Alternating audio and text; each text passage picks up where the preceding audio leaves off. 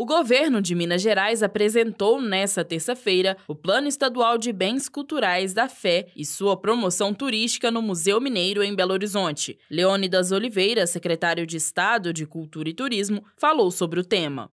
80% do turismo que se faz em Minas é um turismo cultural e a fé também é cultura, né? Então, é esse legado é, das tradições, sejam elas materiais ou imateriais, são ativos importantíssimos para consolidarmos Minas Gerais também como um destino turístico, no plano de turismo da fé, aliar as rotas que já existem em Minas Gerais, que são belíssimas. Vou dizer, por exemplo, a rota que existe de Inhaxica, que está toda colocada e pronta para o deleite do turista. Além disso, no evento também foi lançado o projeto turístico Turístico Minas Santa, desenvolvido para a divulgação da programação turística para a Semana Santa no estado. Não somente na Semana Santa, que o projeto que nós temos Minas Santa é especificamente para valorizar a Semana Santa de Minas Gerais, sobretudo aquela das cidades, das igrejas, das praças e que tem nela todas as artes. Nós temos o canto, então são verdadeiros espetáculos é, da fé